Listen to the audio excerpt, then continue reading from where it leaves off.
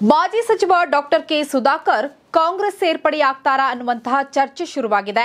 ಇನ್ನು ಈ ಬಗ್ಗೆ ಚಿಕ್ಕಬಳ್ಳಾಪುರ ನಾಯಕರೊಂದಿಗೆ ಸಿಎಂ ಸಿದ್ದರಾಮಯ್ಯ ಹಾಗೂ ಡಿಸಿಎಂ ಡಿಕೆ ಶಿವಕುಮಾರ್ ಅವರು ಚರ್ಚೆ ನಡೆಸಿದ್ದಾರೆ ಎನ್ನಲಾಗ್ತಿದೆ. ಇನ್ನು ಈ ಬಗ್ಗೆ ಅಲ್ಲಿನ ಶಾಸಕರಾಗಿರುವಂತಹ ಪ್ರದೀಪ್ ಈಶ್ವರ್ ಅವರನ್ನ ಕೇಳಿದ್ರೆ ಈ ವಿಚಾರಗಳ ಬಗ್ಗೆ ನಿರ್ಧಾರವನ್ನ ತೆಗೆದುಕೊಳ್ಳುವಷ್ಟು ದೊಡ್ಡವನು ನಾನು ಅಲ್ಲ ಎಂಬ ಉತ್ತರವನ್ನ ನೀಡಿದ್ದಾರೆ. ಅಷ್ಟೇ ಅಲ್ಲದೆ ಈ ಬಗ್ಗೆ ಬಿಜೆಪಿ ರಾಜ್ಯಾಧ್ಯಕ್ಷ ಬಿವೈ ವಿಜಯೇಂದ್ರ ಊಹಾಪೋಹಗಳಿಗೆ ನಾನು ಉತ್ತರಿಸಲ್ಲ ಎಂದಿದ್ದಾರೆ. ಇನ್ನು ಇದೇ ವಿಚಾರವಾಗಿ ಡಾಕ್ಟರ್ ಕೆ ಸುಧಾಕರ್ ಅವರನ್ನ ಸಂಪರ್ಕ ಮಾಡಲು ಪ್ರಯತ್ನ ಪಟ್ಟರು ಕೂಡ ಅವರು ದೂರವಾಣಿ ಕರೆಯನ್ನ ಸ್ವೀಕರಿಸಿಲ್ಲ ಮಾಜಿ ಸಚಿವ ಡಾಕ್ಟರ್ ಕೆ ಸುಧಾಕರ್ ಕಾಂಗ್ರೆಸ್ಗೆ ವಾಪಸ್ ಬಗ್ಗೆ ಕೈಪಾಳ್ಯದಲ್ಲಿ ಚರ್ಚೆ ಜೋರಾಗಿದೆ.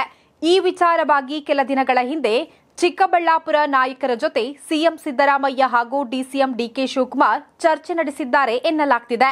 ಸುಧಾಕರ್ ಅವರನ್ನು ಮರಳಿ ಪಕ್ಷಕ್ಕೆ ಕರೆಸಿಕೊಳ್ಳುವ ಬಗ್ಗೆ ಚಿಕ್ಕಬಳ್ಳಾಪುರ ನಾಯಕರಿಂದ ಸಿದ್ದರಾಮಯ್ಯ ಹಾಗೂ ಡಿಕೆ ಶಿವಕುಮಾರ್ ಅಭಿಪ್ರಾಯ ಸಂಗ್ರಹಿಸಿದ್ದಾರೆ ಎನ್ನಲಾಗ್ತಿದ್ದು, ಆದರೆ ಶಾಸಕ ಪ್ರದೀಪ್ ಈಶ್ವರ್ ತಟಸ್ಥ ನಿಲುವು ಕಾಯ್ದುಕೊಂಡಿದ್ದಾರೆ ಎನ್ನಲಾಗ್ತಿದೆ.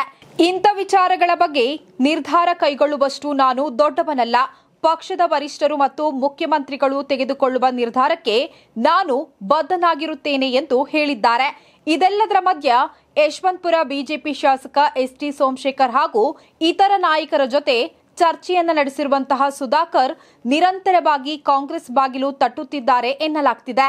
ಮೂರು ದಿನಗಳ ಹಿಂದೆಯಷ್ಟೇ ಸೋಮಶೇಖರ್ ಜೊತೆ ಸುಧಾಕರ್ ಮಾತುಕತೆ ನಡೆಸಿದ್ದಾರೆ ಎನ್ನಲಾಗ್ತಿದೆ. ಇನ್ನು ಸುಧಾಕರ್ ಅವರನ್ನ ಮರಳಿ ಪಕ್ಷಕ್ಕೆ ಕರೆಸಿಕೊಳ್ಳುವ ಬಗ್ಗೆ DCM DK Shivakumar green signal ನೀಡಿದ್ದಾರೆ ಎನ್ನಲಾಗ್ತಿದೆ. ಆದ್ರೆ ಸಿಎಂ ಸಿದ್ದರಾಮಯ್ಯ ಅಳೆದು ತೂಗಿ ನಿರ್ಧಾರ ಕೈಗೊಳ್ಳಲಿದ್ದಾರೆ ಎಂದು ಮೂಲಗಳು ತಿಳಿಸಿವೆ. ಸುಧಾಕರ್ ಅವರು ಲೋಕಸಭಾ ಚುನಾವಣೆ ಸಂಬಂಧ ಚಿಕ್ಕಬಳ್ಳಾಪುರ ಕ್ಷೇತ್ರದ ಬಿಜೆಪಿ ಟಿಕೆಟ್ಗೆ ಲಾಬಿ ಮಾಡುತ್ತಿದ್ದಾರೆ.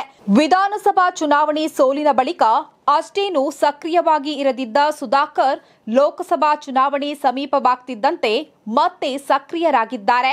ಆದರೆ ಬಿಜೆಪಿಯಿಂದ ಇನ್ನೂ ಟಿಕೆಟ್ ಕನ್ಫರ್ಮ್ ಆಗದ ಕಾರಣ ಕಾಂಗ್ರೆಸ್ ಬಾಗಿಲು ತಟ್ಟುತ್ತಿದ್ದಾರೆ ಎನ್ನಲಾಗ್ತಿದೆ. ಇನ್ನು ಮಾಜಿ ಸಚಿವ ಕೆ ಸುಧಾಕರ್ ಕಾಂಗ್ರೆಸ್ ಸೇರ್ಪಡೆ ವಿಚಾರಕ್ಕೆ ಸಂಬಂಧಿಸಿದಂತೆ ಬಿಜೆಪಿ ರಾಜ್ಯಾಧ್ಯಕ್ಷ ಬಿವೈ ವಿಜಯೇಂದ್ರ ಪ್ರತಿಕ್ರಿಯೆ ನೀಡಿದ್ದಾರೆ. ಊಹಾಪೋಹದ ಸಂಗತಿಗಳಿಗೆ ನಾನು ಉತ್ತರ ನೀಡಲ್ಲ ಎಂದಿದ್ದಾರೆ. ಈ ಬಾರಿಯ ಲೋಕಸಭಾ ಚುನಾವಣೆಯಲ್ಲಿ ಬಿಜೆಪಿ ಜೆಡಿಎಸ್ ಮೈತ್ರಿಗೆ ಎಲ್ಲಾ ಕ್ಷೇತ್ರಗಳಲ್ಲಿ ಅತ್ಯುತ್ತಮ ಬೆಂಬಲ ವ್ಯಕ್ತವಾಗುತ್ತಿದೆ. ಇಪ್ಪತ್ತೆಂಟು ಕ್ಷೇತ್ರಗಳಲ್ಲಿ ಮೈತ್ರಿ ಅಭ್ಯರ್ಥಿಗಳು ಗೆಲ್ಲುವ ವಾತಾವರಣ ನಿರ್ಮಾಣವಾಗುತ್ತಿದೆ ಎಂದರು. ಇನ್ನು ಎಲ್ರಿಗೂ ಗೊತ್ತಿರುವ ಹಾಗೆ ಕಾಂಗ್ರೆಸ್ನಲ್ಲಿದ್ದಾಗ ಡಾಕ್ಟರ್ ಕೆ ಸುಧಾಕರ್ ಅವರು ಸಿದ್ದರಾಮಯ್ಯ ಅವರ ಆಪ್ತ ವಲಯದಲ್ಲಿ ಗುರುತಿಸಿಕೊಂಡಿದ್ದರು. ಎರಡ್ ಸಾವಿರದ ಹತ್ತೊಂಬತ್ತರಲ್ಲಿ ಎಚ್ ಡಿ ಕುಮಾರಸ್ವಾಮಿ ನೇತೃತ್ವದ ಸಮ್ಮಿಶ್ರ ಸರ್ಕಾರ ಉರುಳಿಸಲು ಬೇರೆ ಕೆಲ ನಾಯಕರೊಂದಿಗೆ ದಂಗೆಯೆದ್ದು ಬಿಜೆಪಿ ಸೇರಿದ್ದರು. ಕಳೆದ ವಿಧಾನಸಭಾ ಚುನಾವಣೆಯಲ್ಲಿ ಸೋತಿರುವ ಸುಧಾಕರ್ ಭ್ರಮ ನಿರಸನಗೊಂಡಿದ್ದಾರೆ. ಹಾಗಾಗಿಯೇ ಅವರು ಕಾಂಗ್ರೆಸ್ಗೆ ವಾಪಸಾದರೂ ಆಶ್ಚರ್ಯವಿಲ್ಲ ಅಂತಾರೆ ಕೆಲವು ರಾಜಕೀಯ ವ್ಯಕ್ತಿಗಳು. ಒಟ್ನಲ್ಲಿ ಮಾಜಿ ಸಚಿವ ಡಾಕ್ಟರ್ ಕೆ. ಸುಧಾಕರ್ ಕಾಂಗ್ರೆಸ್ ಪಕ್ಷಕ್ಕೆ ವಾಪಸ್ಸಾಗುತ್ತಿರುವ ವದಂತಿ ದಿನೇ ದಿನೇ ಹೆಚ್ಚಾಗ್ತಿರೋದಂತೂ ಸತ್ಯ.